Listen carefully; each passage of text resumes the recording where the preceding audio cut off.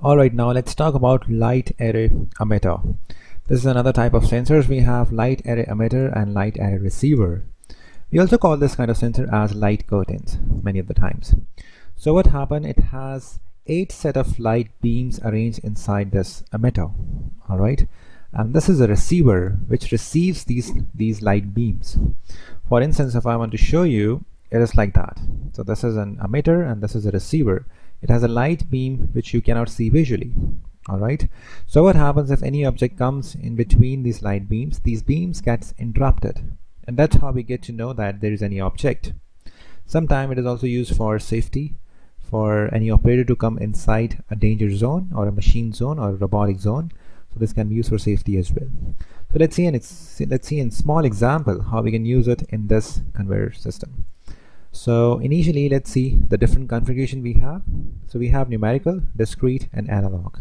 So let's talk about numerical. So I'm going to play this environment and you will find that it will show you some numeric value over here. Have a look.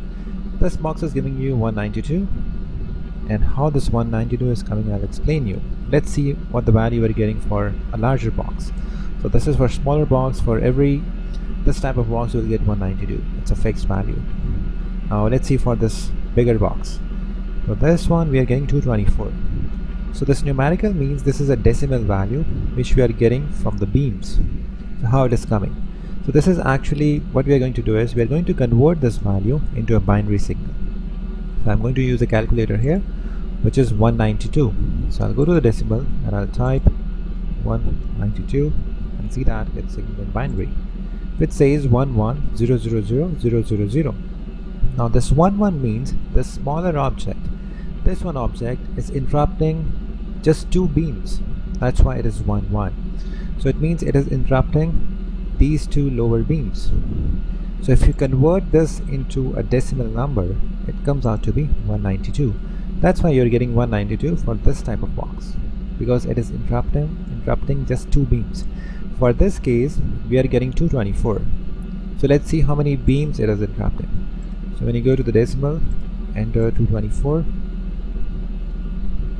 and you go to the binary. It shows you 111 so three beams are interrupted by this bigger box. That's why you're getting 224 if you have more bigger boxes you'll get a different configuration and you'll get a different numerical value here. So you can compare this value in your algorithm and you can find out the height of the box. So here we are measuring the height of the box. Alright? So this was the one type of configuration numerical. Now if we go to the second one discrete this will explain and justify what I was talking before. So have a look here. Now you'll have eight different signals of independent beams. So you can see that 7 and 8th beam will be interrupted. These two beams are interrupted by this box just because of the height. Alright so this justify what I was telling you. So in this case you will get individual signal of the beams. I can show you here. This is for the smaller box. You get just two two outputs 7 and 8 bigger box all three outputs.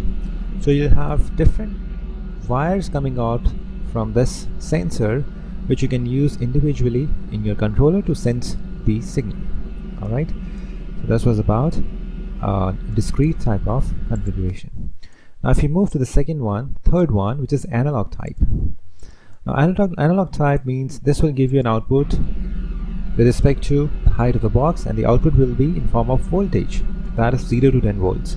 Because we know that 0 to 10 volt is a very standardized voltage for control signals. Now you're getting some value here. Let's see this is 2.5 I'll explain you why this is 2.5 because here we are going to use a formula. And for the bigger box you will get more than 2.5 let's see that first and explain you how this 2.5 comes. Now because the bigger this is a bigger box. For that you're getting 3.8 now the formula is when we are going to talk about analog it says you have to divide 10 volts because the maximum signal is 10 volts divided by number of beams which means we have to find out the resolution. Okay? If one beam is interrupted how much analog output will be generated? That is a resolution because it has 8 beams so 10 divided by 8 counts to 1.25 voltage. Then you will multiply by how many beams are interrupted. So let's see this example. This was this medium uh, smaller box. We have two beams which are interrupted.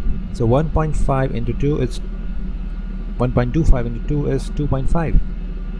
so for medium box we have 2.5 let me show that again and similarly for the larger box 3 beams unencrypted so this is 3.75 now let's see this one. This is 2.5 okay? 1.25 into 2 is 2.5 and this is for 3 beam which is 1.25 into 3 which is 3.75 but they're showing, showing you the round off which is 3.8 so that's the analog value okay? This is also used for analog signals. You can give this value not to the directly to the discrete controller but to the analog cards of the controller these analog values.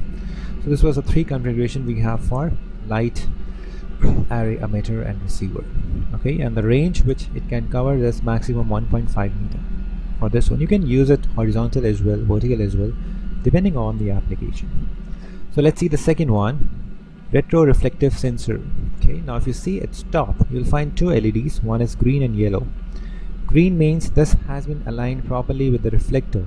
Reflector is what it's doing. It is reflecting back the light emitted by the sensor now the advantage of the sensor is because its principle is more similar to diffuse but its range is much more than the diffuse. Its range goes approximately up to 6 to 8 meters but the diffusive works just for 1.5 meters. Alright so that's why we have a reflector here. Now you will see here I'll just activate its tab it is normally giving you the signal when the box is not here. It's giving you the signal. This is on. So when its beam is interrupted the signal get lost and this will be off so yellow light in, uh, yellow when the yellow light is not on it means some object is there in front of the sensor. When the yellow light, light is on it means there is no object. Green light indicates that your sensor has been aligned properly. If I if I just misalign this one you won't find a green light okay? It means the reflector is not properly aligned to your sensor.